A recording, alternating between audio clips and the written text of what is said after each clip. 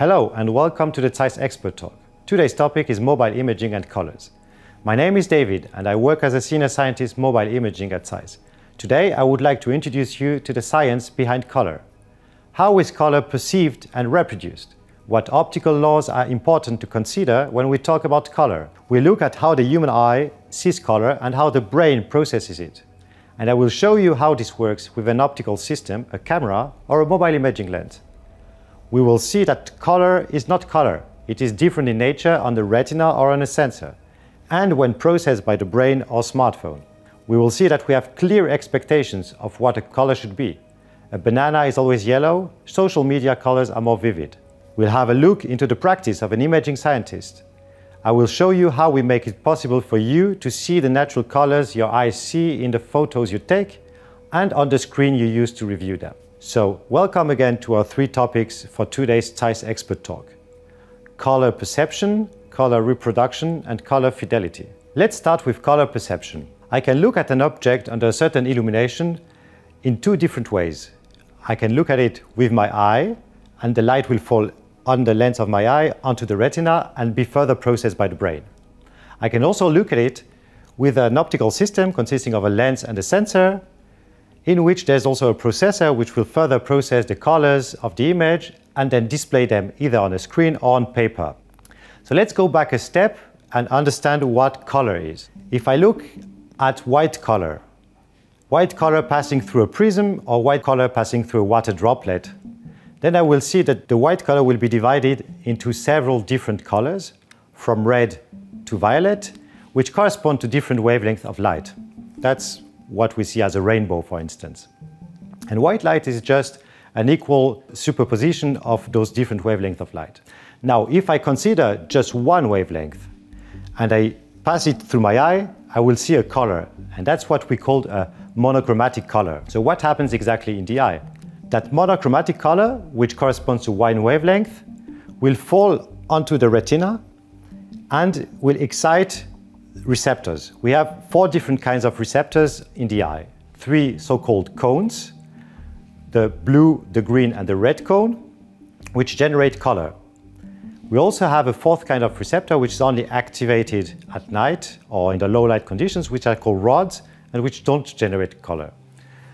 So when a monochromatic color falls onto the eye, it will excite to different degrees the three different receptors and will generate a color through the processing by the brain. So we see that we have an infinite number of colors in theory coming from the white light and an infinite number of wavelengths between 400 and 700 nanometers that will be reduced to only three signals in the brain. So that leads to phenomena, for instance, metamerism, which is the phenomenon uh, that two different colors will look the same to the brain because we reduce that whole information to only three numbers.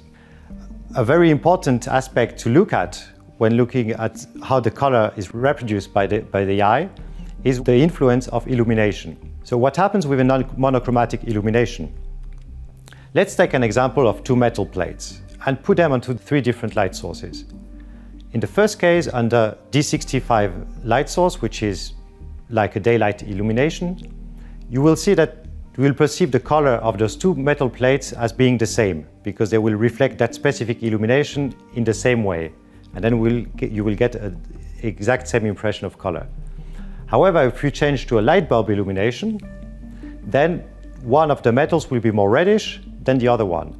And in the same way, if you switch to a fluorescent illumination, the other metal will, will look more reddish.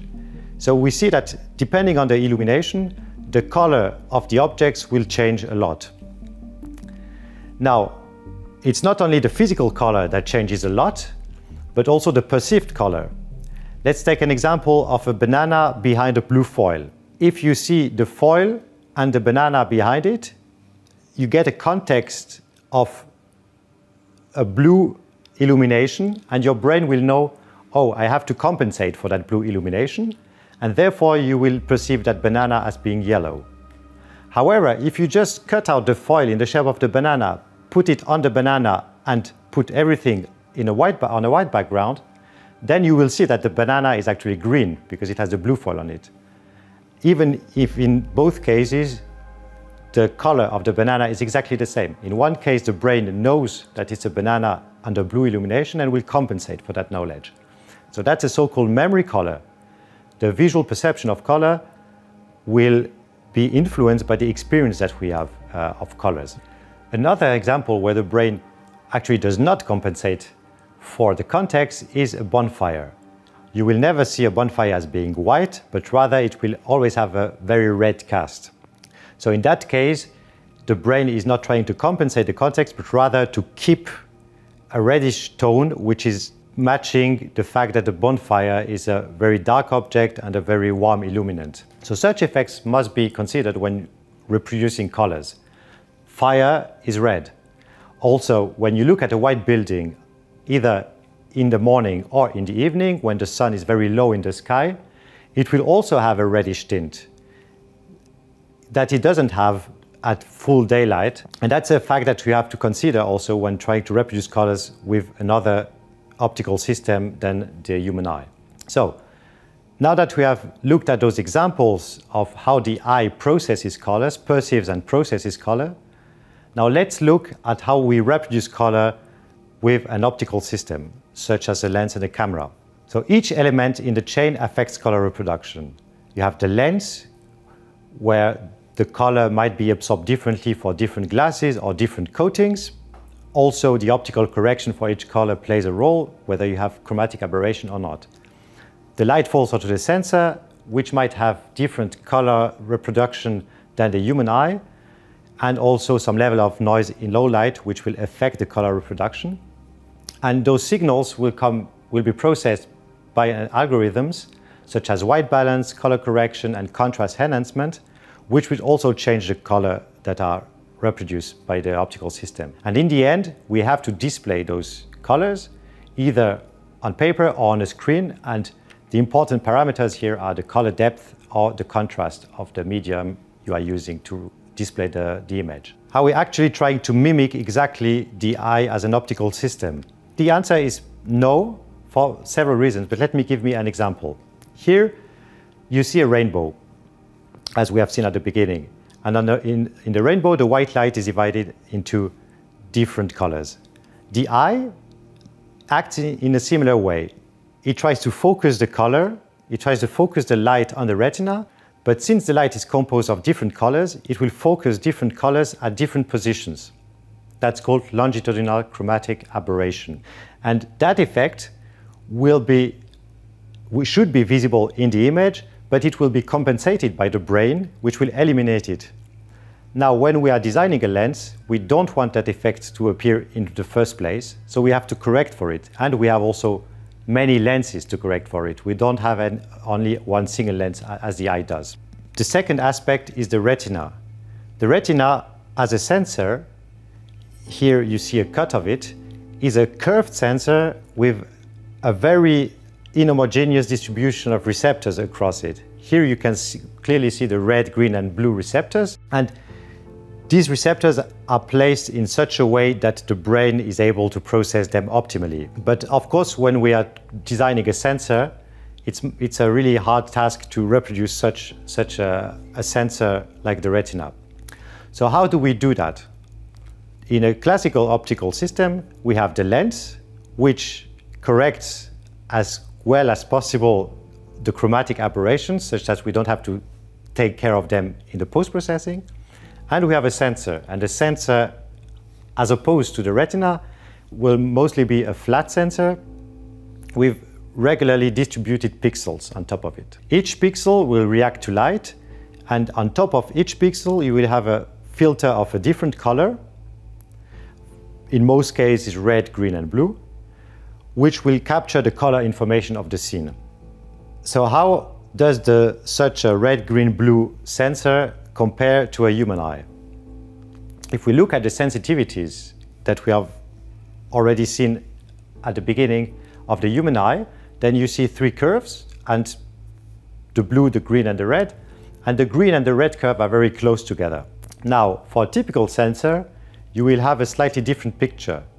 Here, the green channel will be the dominant one, and you will have a larger separation between the blue the green and the red channels that you have in the eye. These differences will make the sensor reproduce colors natively differently than the eye does, and so will imply that we will have to correct for this different color reproduction with several algorithms.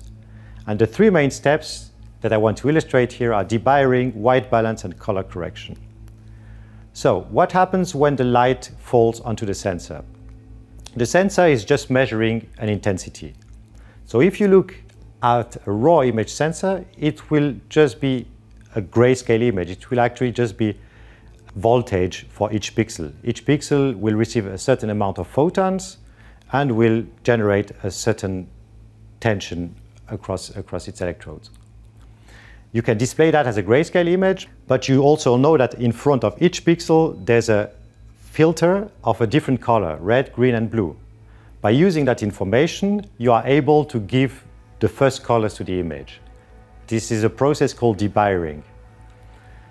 Um, the, the image which comes after debayering has, in most cases, a strong green tint. Why is that so?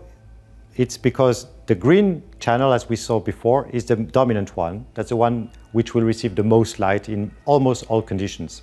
So the white and gray patches will have a green tint and the rest of the image also as well. In order to correct for the imbalance between red, green and blue, we apply a second algorithm, which is called white balance. So here we just try to make gray patches look gray and white patches look white. After we have done that, we have at least neutral colors that are neutral, but looking into more detail at the colors, we see that some colors are not perfectly reproduced. Why is that? It's because the eye, as we've seen, has a different sensitivity to color than the sensor. And in order to correct for these different sensitivities, then we will apply a third algorithm, which is called color correction, which will try to shift the colors that are seen by the sensor to the ones seen by the eye. After applying that color correction algorithm, the colors are almost perfectly corrected. I say almost because there's always a trade-off to do between the colors you correct perfectly and the ones you correct less perfectly since the eye and the camera system don't have the same sensitivities. Now, you have, let's say, a perfectly corrected image, almost perfectly corrected, and you have to display or print it now. So your screen or your paper or your printer needs to be able to display those colors. Let's take a look at how, what a screen can do. In that diagram, you see the oval area represents the colors as they can be seen by the eye. All colors that an eye can see. And the triangles represent the colors that a display can reproduce. And you see that there is no display that can reproduce all colors that the eye can see, but some of them are quite close and can reproduce quite a lot of colors. And actually nowadays, newer generations of display technology will help or will improve the, the, color reproduction that's displayed on the screen. Now we have seen the color reproduction of the whole chain in our imaging system. And the question is, how good are the, are the colors reproduced by our imaging system? On the one hand, we have the colors as perceived by the eye and the brain. On the other hand, you have the color reproduction by the lens, the camera system, and the display. And you have to compare how well those two match. That's called color fidelity. To assess color fidelity in the lab, we most of the time use first such a color checker, which has patches of different colors and different grayscales, and it's a very well-known object, a very well calibrated object, and that gives us the first information of how well do I correct the colors, how close are they to the real perceived colors by the eye. I can illuminate that color checker under different illuminations and check for different light conditions. So the color checker in the lab helps us to check whether the colors are as close as possible to the reality. But is it what we want to achieve? The expectations of the common user are normally that the colors are more vivid, have more saturation, are brighter than how they are actually perceived in reality. That's what we observe in consumer photography, in smartphone photography, or in social media. So in general, screen colors tend to be more vivid than they actually are perceived. With Zeiss Natural Colors, we wanted to give the user the possibility to get the colors as precisely as possible, as close as possible to how they are perceived on the scene.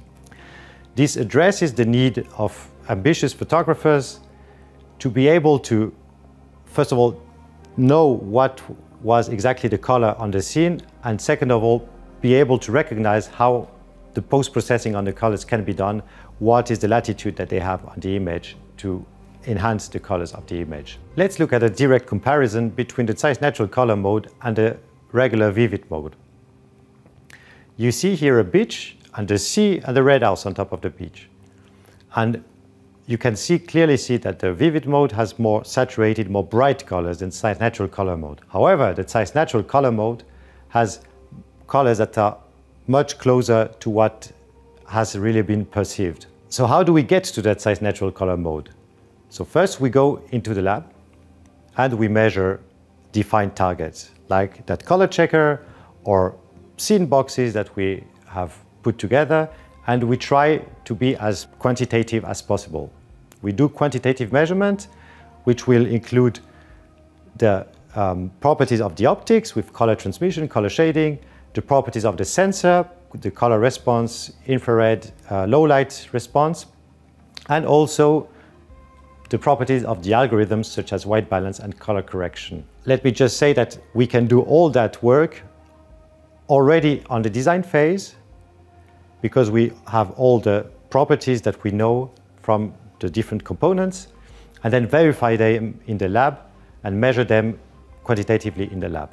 For instance, we can also go in the lab into low light situations with real objects like such as skin tones or flowers and check that the colors are also well reproduced into low, in low light situations. After we finish the tuning in the lab, we still have to go outside to perform some fine tuning because there are some situations that we cannot reproduce in the lab. As an example, here you see a wheat field with green grass in front of it and a blue sky. That's the kind of situations we are looking for outside in order to make some fine tuning of the colors. And in order to match the natural colors as best as possible, we also have to go outside and be on the scene to really see what the color, the actual color of the scene was uh, in order to make a fine adjustment to our algorithms. Another challenge that comes with, uh, with current smartphones is that instead of having only one lens and one sensor like classical cameras, smartphones have now one, two, three, four different camera modules with different lenses, different sensors, and different field of views. And we have to make sure that all the colors reproduced by those different cameras match together. So the field of view differences between, for instance, the ultra-wide camera and the telecamera will affect the white balance and the exposure of the scene. The different spectral re responses of the different sensors will affect also the color reproduction and so on. So Zeiss Natural Colors gives the user the opportunity to get colors as accurate as possible and opens therefore a space for post-processing, for color manipulation that has never been there before. So in conclusion, we have seen that color perception is not about a physical process, but also about how the brain interprets and processes the colors that it sees. On the other hand, we have to teach our camera systems to reproduce the colors in the same way as the brain does. And as technology evolves, we are more and more able to do so. In future, color science will continue to play an important role for even better mobile imaging. As color tastes will evolve, technology improvement will help us to reproduce colors even better. Thank you very much for watching and I hope you enjoyed today's Zeiss Expert Talk.